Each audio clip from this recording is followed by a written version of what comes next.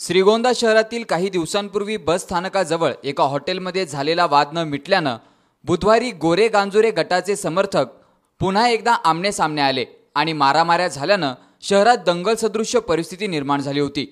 त्यामुळे जमाव पांगवण्यासाठी आणि कायदा सुव्यवस्थेच्या आबादितेकरता पोलिसांनी सौम्य लाठीचार्जही केला. याबाबत श्रीगोंदा पोलीस ठाण्यात परस्पर विरोधी तक्रारीवरून वीस ते पंचवीस जणांवर गुन्हाही दाखल करण्यात आलाय. गुन्हे दाखल होऊ नयेत यासाठी राजकीय नेते मंडळींनी हस्तक्षेप करण्याचा प्रयत्न केला. मात्र तरीही गुन्हे दाखल करण्यात आलेत.